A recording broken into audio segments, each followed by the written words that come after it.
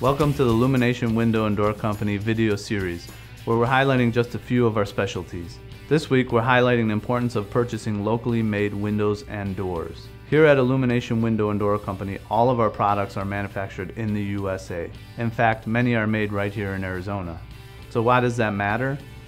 Our climate here is very different than in most other regions of the country, and it's important that Arizona homeowners get the right window, specially engineered for this climate.